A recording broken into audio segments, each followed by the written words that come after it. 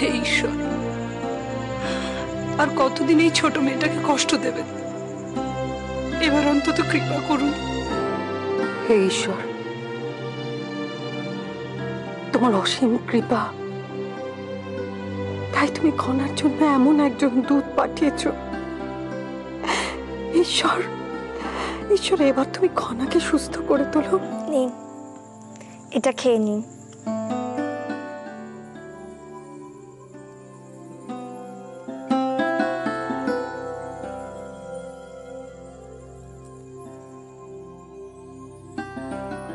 বৈদ্যমশাই কি বলেছেন? বৈদ্য বলেছেন আপনার এখনও বিশ্রামের প্রয়োজন। আপনার অনেক অনেক রক্ত বেরিয়েছে। তাই আপনি এখন দুর্বল। রাজ রক্ত কখনো দুর্বল হতে পারে না। আপনাকে এখানে থাকতে বলার আরও একটা কারণ আছে। কি? দেশের এইদিকে এক অদ্ভুত ধরনের জ্বর হচ্ছে। অনেক মানুষ ঘরে ঘরে মারা যাচ্ছে। এই সময়ে আমার আমার দাদার পাশে থাকাটা খুব দরকার ছিল। অন্তত রাজনীতিগতভাবে তার একটা ভালো ফল হতো। যতই ভাবুন আমি আপনাকে এখান থেকে কিছুতেই যেতে দেব না। আপনি কেন বুঝতে পারছেন না?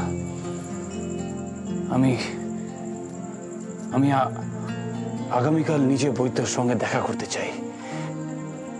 আমি ব্যক্তিগতভাবে ওনাকে দিয়ে নিজের পরীক্ষা করাতে চাই। কেন বুঝতে পারছেন না আপনি? আমাকে পছন্দ না।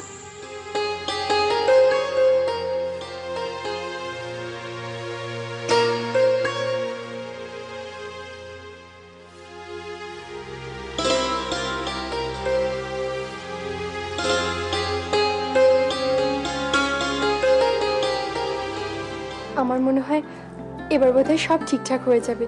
আগের মতন হয়ে যাবে। রানীমা মহারাজ তারা সবাই একসাথে থাকবেন। মীনাক্ষী আমার মনে হয় রানী ঐশিকাকে নিয়ে ভাবনা চিন্তা করা এবার বন্ধ করো। ঠিক বুঝলাম না। এখন রাজপ্রাসাদের যা অবস্থা তাতে আমার প্রধান চিন্তা হচ্ছে মহারাজের সুরক্ষা। আপনি এইসব কথা কেন এখন বলছেন? এমনিতেই রানীমার উপর দিয়ে এত বড় একটা ঝড় গেল। দেখো মীনাক্ষী আমি মানছি কিন্তু এই প্রথমবার মহারাজ এবং রানীমার মধ্যে একটা দূরত্ব তৈরি হয়েছে। আমার মনে হয় এটাই সঠিক সময় মহারাজকে দ্বিতীয় বিবাহের জন্য রাজি করানো। আপনার কথা আমি কোনো মতেই মানতে পারছি না। রানীমার জন্য আমার অত্যন্ত খারাপ লাগছে। তার কপালে কি এই ছিল? তুমি কি জানো খনা? কেন তুমি এখানে এসেছ? কেন? তোমাকে তাহলে একটা গল্প বলি। কার গল্প? দেবী দুর্গার গল্প। এক সময় স্বর্গে দেবতাদের সাথে অসুরদের ভয়ানক যুদ্ধ বাঁধে। অসুরদের শক্তির সামনে দেবতারা বারবার পরাস্ত হতে থাকেন। তখন সব দেবতারা মিলে মা দুর্গার আরাধনা করে। আর তারপরে মা দুর্গা আসেন এবং অসুরদের যুদ্ধে পরাস্ত করেন।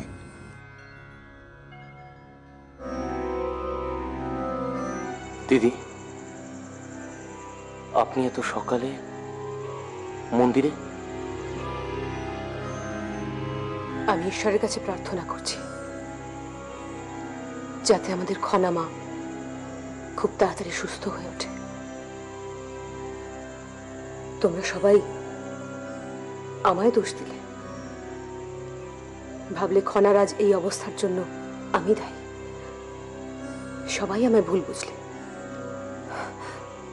আর উপদেশ, তুমি তো প্রমাণই করে দিলে যে তুমি আমার সৎ ভাই। কিন্তু আমি তো আর বাকিদের মতো ভাবতে পারি না। আমি যখনই ভাবি এই পরিবারের সকলের মঙ্গলের কথা ভাবি। আমার মা যখন মারা গিয়েছিলেন, তিনি আমাকে এই পরিবারের সকলের দায়িত্ব দিয়ে গিয়েছিলেন। বলেছিলেন, সকলের খেয়াল রাখতে।